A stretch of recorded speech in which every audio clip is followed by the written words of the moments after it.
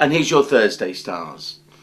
The moon's in Libra, but even that little old moon in Libra can't help take away the weight of Sun square Saturn. That sense of a need for approval, that sense of feeling of guilt, even despair that you may be going through, or somebody around you needs your help to survive what is a very difficult time.